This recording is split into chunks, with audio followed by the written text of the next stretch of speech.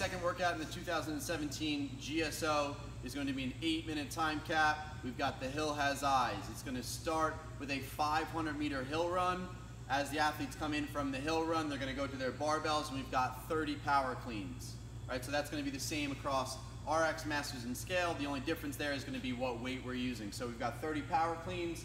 Christina is going to demo power clean. Barbell starts on the ground every rep. Must finish on the shoulders with the athlete standing tall at the top, right? So no squat clean. So if Christina were to clean it from the ground and catch in a squat, that would not count.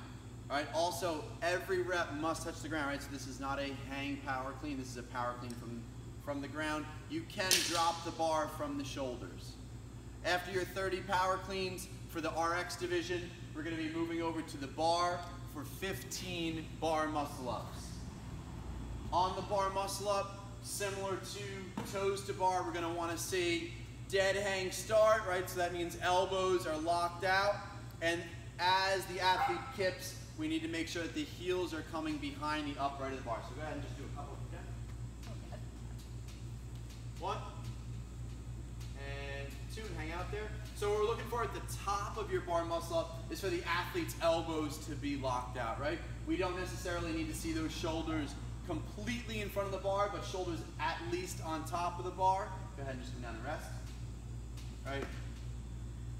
No reps on bar muscle ups are pretty obvious, right? We don't make it up to the top of the bar. But the one thing that we're not gonna allow is using the side of the rig with your feet to kind of prop yourself up. And I'm, don't even demo it. It's not even worth it, right?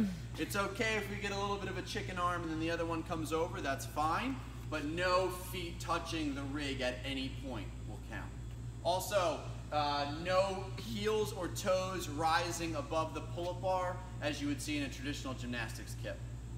For RX, it's 15 bar muscle ups. For our masters division, it's gonna be 10 bar muscle ups. And then for our scale division, it's gonna be 30 pull-ups. So on the pull-ups, we'll demo a couple, right? We're looking for that chin to break the plane of the bar at the top.